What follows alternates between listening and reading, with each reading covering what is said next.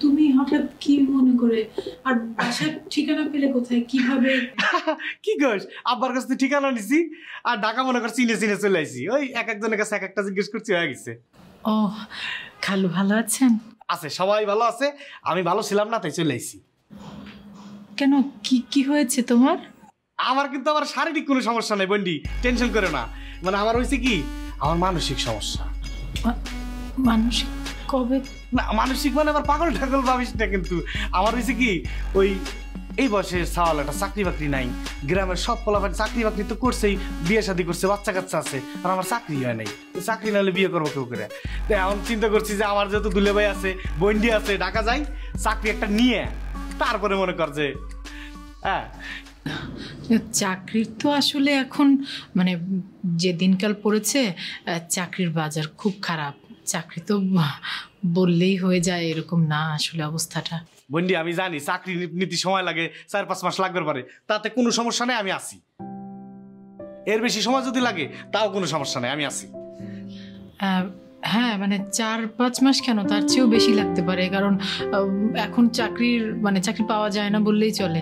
তো এতদিন কোথায় থাকবে তুমি? এতদিন তো থাকার ব্যবস্থা আছে কোনো সমস্যা নাই বন্ডি আমি তোমার কাছে আসি হ্যাঁ যতদিন লাগে লাগুক। মানে তুমি আমার এখানে থাকবে? হ্যাঁ তা আমি আমি আর কোন জায়গায় যাব? আমি আমার কথা হলো যে আমি আপন মানুষের কাছে যা দুই দিন বেশি থাকব। হুম ওই পরের কাছে যা কি কথা শুনবা। আমি তুই তো জানিস আমি কথাবার্তা শোনার ভিতরে আমি নাই। কিন্তু চার পাঁচ মাস তো এখানে থাকার মতো কোনো ব্যবস্থা নেই। কি কইছে যে আমি এনে ছিলাম না এনে খুব সুন্দর আরামদায়ক শোয়ার সাথে সাথে ঘুমা গেছি। খুবই আরামদায়ক। আমি এনে থাকতে পারব কোনো সমস্যা নেই আমার। দুলে ভাই কো?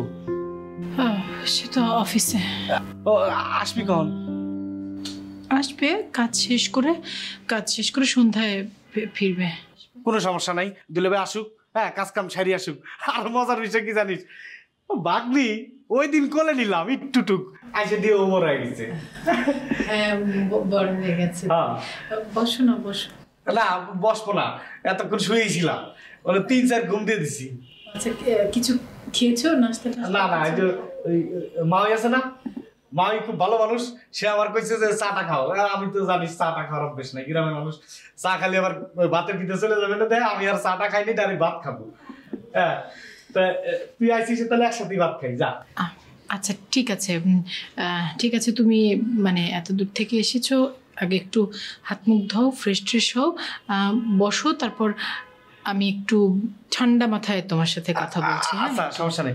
ই আছে নাকি? দাঁত মাজার যে পাউডার আছে নাকি? আছে বাথরুমে মানে টুথপেস্ট আছে। আচ্ছা আচ্ছা আমি নিয়ে নেব নিয়ে নেব।